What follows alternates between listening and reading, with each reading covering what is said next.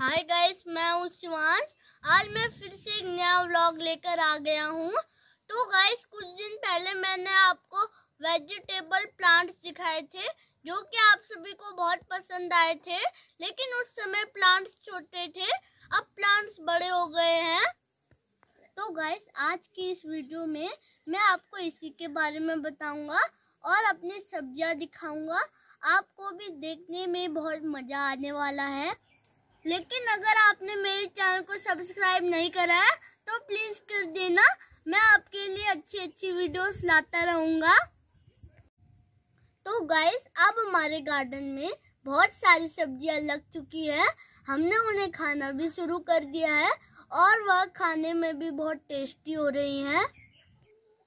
अब मैं आपको एक एक करके अपने सारी वेजिटेबल्स दिखाऊँगा और उनको तोड़कर भी दिखाऊँगा।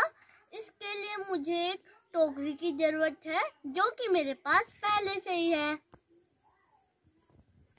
सबसे पहले मैं आपको दिखाता हूँ बीन्स की सब्ज़ी, जो बहुत ज़्यादा लगे हुए हैं। इनको हम बहुत पहले से खाते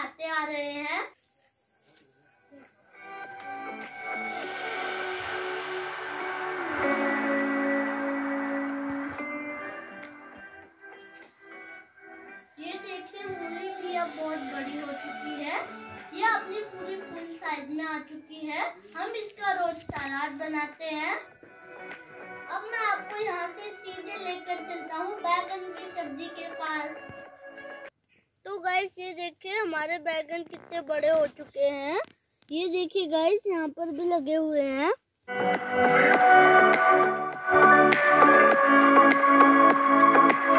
ये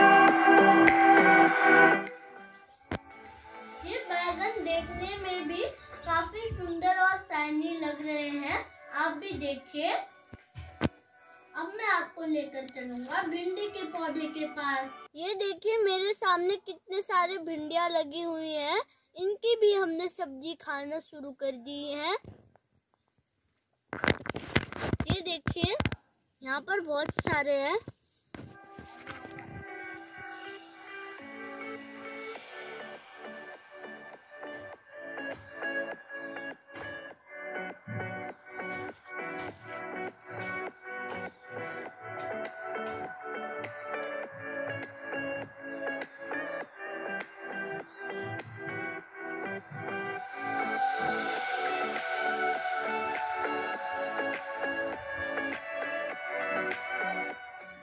आपको दिखाता हूँ, शिमला मिर्च ये भी खाने लायक हो चुका है और इसकी सब्ज़ी भी बहुत टेस्टी होती है।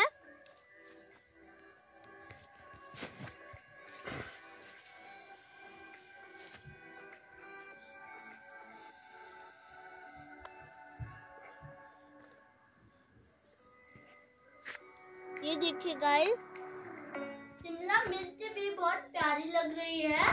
जैसे कि मैंने आपको पहले भी बताया था कि हमारी सब्ज़ियाँ बिल्कुल ऑर्गेनिक है और ये खाने में भी बहुत टेस्टी होती है। साथ ही हमारे हेल्थ के लिए भी बहुत ज़्यादा अच्छी होती है। ये देखिए सब्जियों की वजह से अब मेरी टोकरी फुल हो गई है।